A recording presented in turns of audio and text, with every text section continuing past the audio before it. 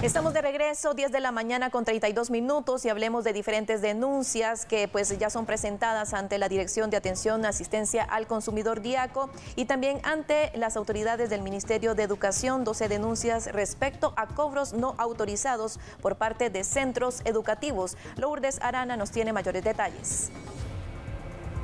Muchas gracias compañeros y efectivamente durante las últimas semanas se han recibido varias quejas por parte de padres de familia que indican de que colegios se están realizando cobros no autorizados. En este caso pues nosotros nos trasladamos con Carlos Vázquez, quien es vocero de la DIACO y nos ampliará más detalles acerca de estas denuncias. Muy buenos días.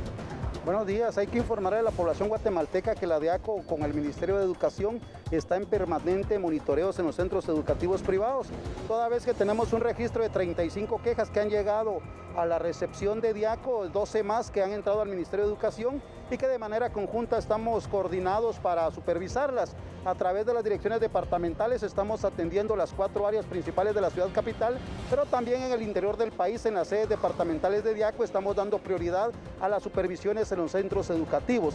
Hay que recordar que solo es la inscripción y la mensualidad los cobros autorizados por el Ministerio de Educación y que también han informado las autoridades tanto de salud como de educación que no se pueden hacer cobros por el, uso de mascarilla con logotipo, que no se puede pedir dinero por el tema del alcohol o desinfectantes, pero que tampoco puede exigirse a los estudiantes que pongan esos insumos, toda vez que son los centros educativos que deben de poner por aula o lavado de manos o una estación de alcohol al 70%.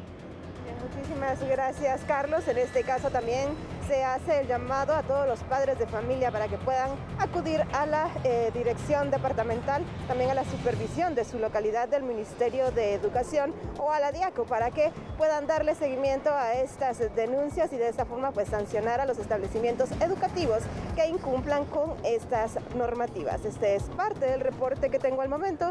Yo retorno al estudio principal.